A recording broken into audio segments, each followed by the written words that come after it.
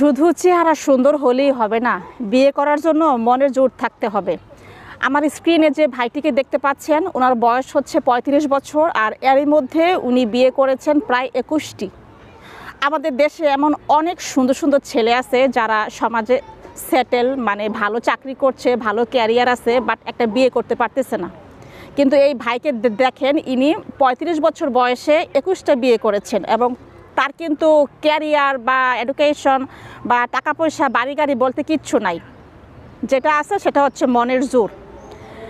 তো তাকে এক সাংবাদিক প্রশ্ন করেছিলেন যে, ভাই, আপনি মানে একে একে মানুষ তো দুই চার পাঁচটা বা সাতটা বিয়ে করে, আপনি একুশটা বিয়ে কেন করলেন? তো উত্তরে তিনি বলেছেন যে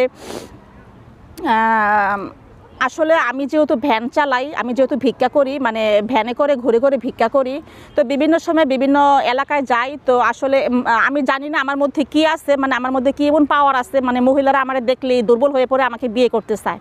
তো যে সকল মহিলারা আমাকে বিয়ে করতে চায়, আমি আসলে এদেরকে না করি না, কারণ না করলে বেয়াদবি হয়ে যাবে। মানে যেই মহিলারাই তারে বিয়ে করতে চায়, তিনি কাউকেই না করেন না, কারণ না করলে বেয়াদবি হয়ে যাবে। তো এই হচ্ছে অবস্থা আর কি।